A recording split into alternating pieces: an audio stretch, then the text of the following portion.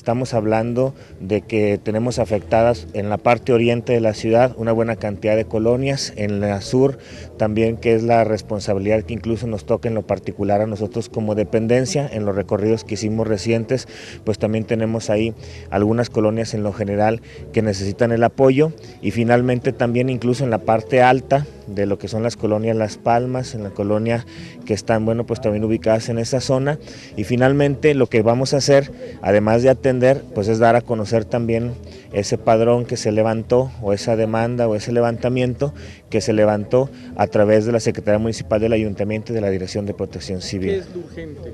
No, bueno, pues para nosotros estamos hablando de reforzar algunos techos, por supuesto. Estamos hablando también de alguna manera, bueno, pues de dar el respaldo en lo que tiene que ver con algunos rastreos de calles, con algunas nivelaciones, que aprovecho también para compartirles que no hemos parado de la ejecución de la obra pública. El alcalde fue muy,